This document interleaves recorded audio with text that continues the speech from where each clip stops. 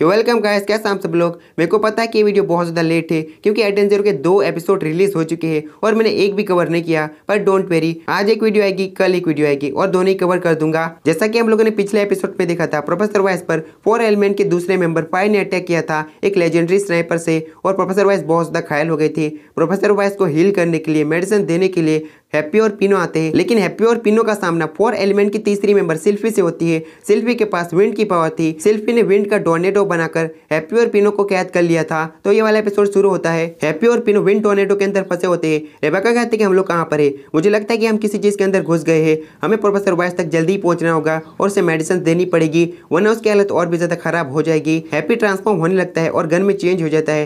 Rebecca guns को पकड़ लेती है और वहीं पर बुलेट्स फायर करने लगती है। पर वो बुलेट्स वहीं पर टकराने लगती है। रेबेका कहती है कि ठीक है तो मैं अपना एथर गियर लीपर का इस्तेमाल करूँगा और रेबेका अपने एथर गियर एक्टिवेट करती है और डोनेटो पर लाते ही लाते मारती है, पर इससे भी कुछ भी नहीं होता। हैप्पी कहते कि ऐसे तो हमारा क्या होगा? और सेल्फी कहते कि जितना कोशिश करना है कर लो, पर तुम लोग इस डोनेटो को बिल्कुल भी तोड़ नहीं सकते। रेबेका कहते कि हारमिट, क्या तुम मुझे सुन सकती हो? अगर तुम मुझे सुन सकती हो तो जवाब दो। हम बहुत बड़ी मुसीबत में है। हैप्पी, लगता है कि कनेक्शन कट हो चुका है। मुझे सिकी से कॉन्टैक्ट करना होगा। फिर सीन चेंज होता है। प्रोफेसर की हालत बहुत ज़्यादा खराब होती है और सिकी कहते कि प्रोफेसर मजबूती बनाए रखना। रेबेका जल्दी आएगी मेडिसिन को लेकर। उसके बाद तुम बिल्कुल ठीक हो जाओगे। रेबेका सिकी से कनेक्शन जोड़ने में बिल्कुल कामयाब हो जाती है। रेबेका कहती है कि हम दोनों बहुत बड़ी मुसीबत में फंस चुके हैं।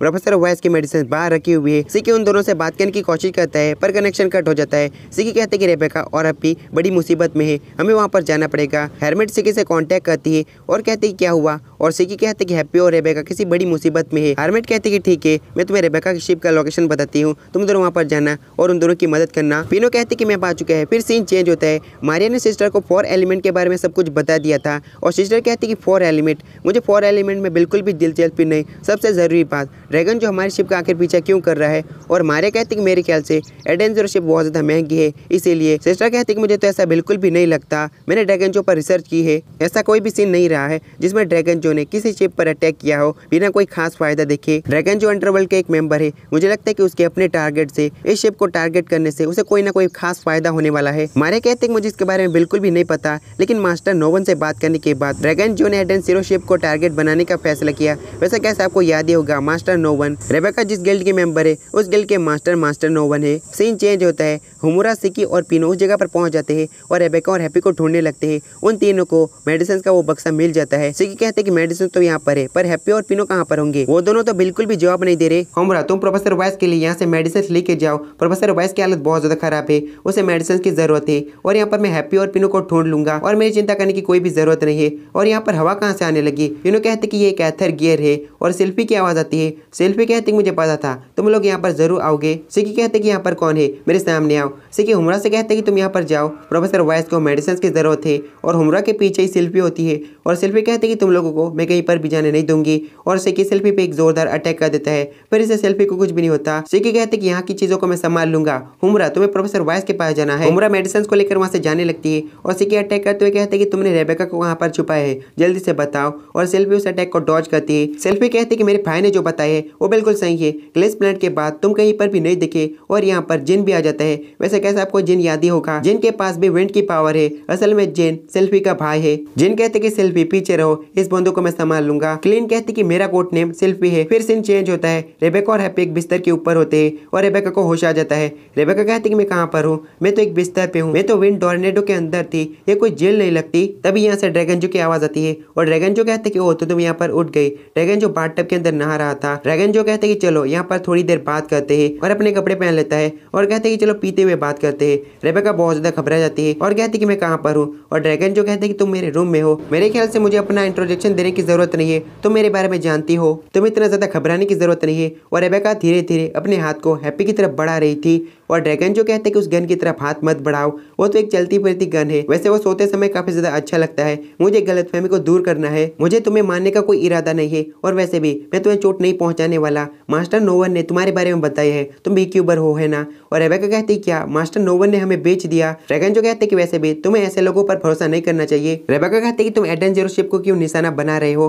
और ड्रैगन जो कहते कि एडन ज़ीरो शिप में कुछ ऐसा है जो बहुत ज़्यादा कीमती है और वो कीमती चीज़ मुझे चाहिए। तुम्हारे लिए यहाँ पर मैंने कपड़े रखे के कपड़े पहनने के बाद कमरे से बाहर निकलना और डेकेंजो के जाने के बाद रेबेका कहते कि मुझे करना क्या चाहिए? प्रोफेसर वाइस को मेडिसिन की ज़रूरत है फिर सीन चेंज होता है। सेल्फी कहते कि तुम मुझे मेरे कोर्ट नेम से बुलाया करो। तुम दोबारा से मेरा रियल नाम मत लेना। लेकिन जिन दोबारा से कहते कि क्लीन, उस औरत का पीछा करो और सेल्फी कहते कि आपने दोबारा से रियल नाम लिया और सिक्की कहते कि मैं तुम्हें कहीं पर भी जाने नहीं दूँगा और साथ ही अटैक कर देता है। लेकिन सेल्फी वहाँ से निकल जाती है और जेन ने सिक्की को रोक दिया था, पिनो कहते कि क्या आप भी फोर एलिमेंट में से एक हो? जेन कहते कि मैं बस भाड़े का बंदा हूँ, फोर एलिमेंट के अंदर फायर, विंड, वाटर और अर्थ है। ये चारों पावर फोर एलिमेंट के मेंबर्स के पास है और उनमें से एक क्लीन है, जिसके पास विंड की पावर है और पिनो कहते कि क्या वो तुम्हारी बहन है? तुमने उसे कहा था और जिन कहते कि इससे तुम दोनों का कोई भी लेना देना नहीं और साथ ही जिन अपनी विंड की पावर से अटैक कर देता है।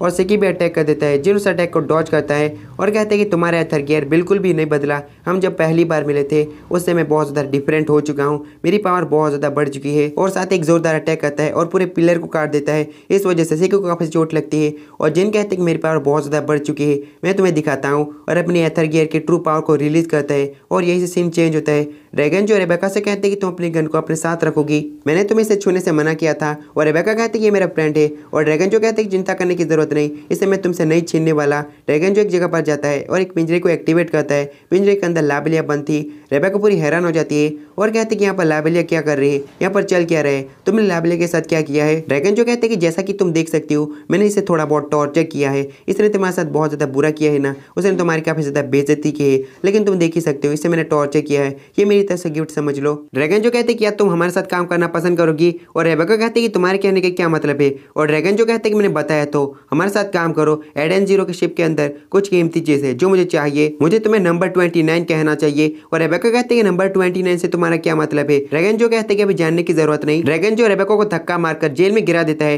ड्रैगन जो के पास चीज़ों को बदलने की पावर थी मतलब ट्रांसफॉर्मेशन पावर थी ड्रैगन जो कहते कि ठीक है, तुम यहीं पर रहना। ड्रैगन जो कहते कि मेरे पास बहुत सारे काम है, तुम यहीं पर रुकना, उसके बाद मैं तुम्हें देखूँगा। और पहली बात, तुम कुछ भी कर सकते हो, लात मार सकते हो, अपनी पावर का यूज़ कर सकते हो, पर कांच बिल्कुल भी नहीं टूटने वाली। और तुम उस लड़की को सजा भी दे सकती हो, पर उसे मारना मत। और ये कहने के साथ ही, ड्रैगन जो वहाँ से चले जाता है, उसके जाने के बाद रेबेका कहती कि, लाबिलिया, मैं तुम्हें बचा लूँगी। रेबेका लाबिलिया की हथकड़ी को खोलने के लिए आगे बढ़ती है, लेकिन रेबेका के नीचे से एक अजीब सा क्रिएचर निकलता है और कहते हैं कि, तुम हथकड़ी को खोल नहीं सकती और न ही उस लड़की को मार सकती हो।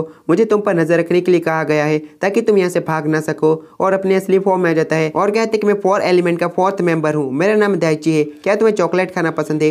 नंबर ट्वेंटी नाइन तुम्हें चॉकलेट खाना चाहिए। और रेबेका कहते हैं कि तुम मुझे नंबर ट्वेंटी क्यों कह रहे हो? दाइची एक सिक्का दिखाते हुए कहते कि ये सिक्का साठ दिनों तक किसी को ना परेशान करने का इनाम है। ये कितना ज़्यादा अमेजिंग है ना? और रेबेका कहते कि पहली बात, तुमने लावेला के साथ क्या किया? तुमने उसे बहुत ज़्यादा टॉर्चर किया है। और दाइची कहते कि ये सब कुछ टॉर्चर की कैटेगरी में नहीं आता है। मैंने तो बस उसे थोड़ा सा डराया और धमकाया है। दाइची कहते कि मैं तुम्हें अभी असली टॉर्चर दिखाता हूँ। और रेबेका चिल्ला कर कहते कि प्लीज़ वहाँ पर रुक जाओ। और दाइची कहते कि मैं रुक नहीं सकता। साठ दिनों तक मैंने किसी को भी टॉर्चर नहीं किया है। टॉर्चर तो मैं करके ही रहूँगा। मैं खुद को कंट्रोल नहीं कर सकता। हैप्पी ट्रांसफॉर्म होकर गन में चेंज हो जाता है और रेबेका कंस को पकड़ लेती है और फायरिंग करने वाली थी, लेकिन तभी दाइची अपना एथर गियर एक्टिवेट करता है और रेबेका के हाथों से झाड़ियाँ निकलने लगती है। रेबेका अपने आप ही दीवार पर बन जाती है। दाइची कहते हैं कि मुझे ऑर्डर मिला है। नंबर ट्वेंटी नाइन को टॉर्चर ना करने के लिए, पर मैं तुम्हें टॉर्चर करने वाला हूँ और यही सीन चेंज होता है। जिनके एथर गियर की पावर बहुत ज़्यादा थी और सिक्की भी हवा की वजह से पीछे जाने लगता है और पिनो से कहते हैं कि तुम कुछ ना कुछ पकड़ लो, नहीं तो हम उड़ जाएँगे। जिन नीचे से बहुत सारे पत्थरों को निकलता है और कहते हैं कि मैं तुम्हें ओवर ड्राइव की पावर दिखाता हूँ,